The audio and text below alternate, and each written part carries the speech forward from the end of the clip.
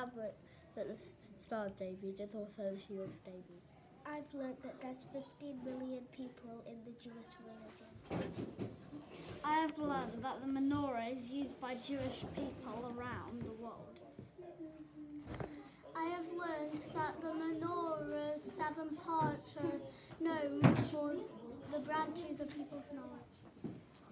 The Torah is a scroll.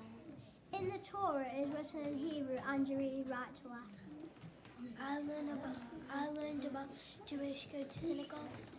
Judaism is part of the um, six religions in the world. I found the Tzitzit vest most interesting. I found the Kiddush cup most interesting. I want to learn more about the Hebrews.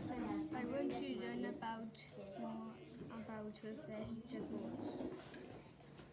I want to learn about the Star of David. I want to know about why the white candle